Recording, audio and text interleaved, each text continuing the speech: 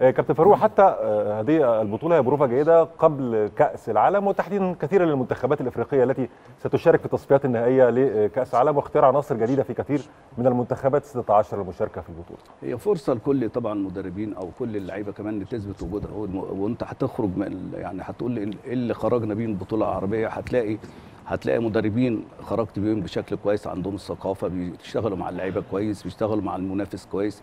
لو اتكلمت عن اللعيبة هنلاقي كم من اللعيبة بيعرض نفسه بشكل كويس جدا وبيعرفونا بالكره بتاعت بلدهم بشكل محترم يعني إحنا ما كناش بنتابع الكرة الأردنية ما كناش بنتابع الكرة السورية ما كناش بنتابع الكرة الفلسطينية. منتخبات كتير قوي دلوقتي موجودة في الساحة عمنا عمان مثلا واحتكاك عرب آسيا بعرب أفريقيا أيضا طبعا وأنت النهارده فبتشوف مدارس جديدة وقاعد. يعني بت... من خلال كده أ- يمكن الزخم اللي بتاع الجماهير وال... والم- والمباريات وأهمية المباريات والتشجيع والعلاقة بين الجماهير ببعض.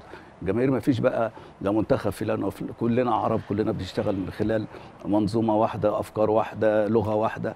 فأنت بتحس إن ال- البطولة واخدة منهج كويس جدا شكل كويس جدا. وده يمكن أكتر حاجة تقرب العرب لبعض وتخلي الناس قريبة سواء في أفريقيا سواء في في, في آسيا.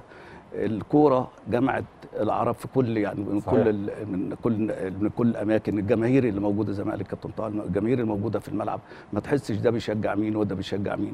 رغم إن إحنا طبعا الجماهير المصرية آه، يعني زحفة بطريقة غير طبيعية. يعني إن صحيح. شاء الله ربنا يوفقنا إن شاء الله. ونحقق اليوم كل حاجة كويسة عايزينها.